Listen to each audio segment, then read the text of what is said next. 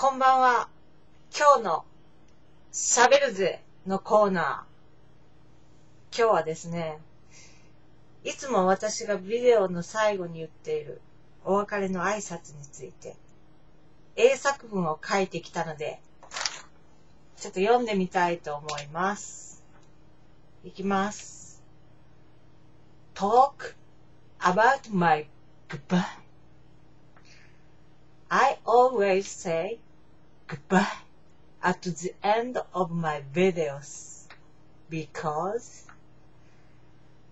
I watched an American classic movie called Random Harvest last year.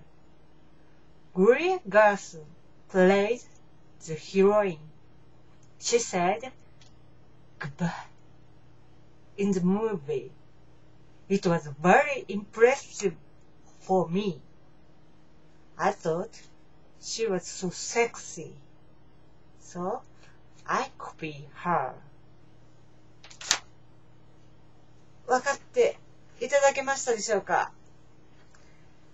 なんか、深夜のテレビ番組でアメリカの古い映画をやっていまして、えー心の旅路っていう映画ですね。